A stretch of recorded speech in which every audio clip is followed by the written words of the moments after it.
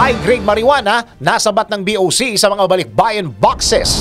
Naharang ng Bureau of Customs Manila International Container Port sa pamamagitan ng Customs Intelligence and Investigation Service ang shipment ng balikbayan boxes mula Thailand na naglalaman ng 63.5 kilograms ng high-grade marijuana o kush at 700 pieces ng disposable vapes. Nasabat ng mga custom agents ang mga ilegal na droga sa tulong ng Philippine Drug Enforcement Agency matapos mag-issue ng alert order ang Office of the District laban sa kontrabando. Batay sa kanilang nakalap na intelligence reports, sumailalim ang shipment noong March 5 hanggang 8 sa 100% physical examination kung saan nakumpirmang illegal na droga ang nilalaman. Pinaporihan naman ni Customs Commissioner Bien Benido Rubio ang mga kawani ng adwana maging ng PDEA sa patuloy na pagtalima sa direktiba ni Pangulong Bongbong Marcos Jr. na paigtingin ang kampanya kontra illegal na droga sa pamamagitan ng paghihigpit sa mga pumapasok na shipment sa lahat ng border of entry ng bansa.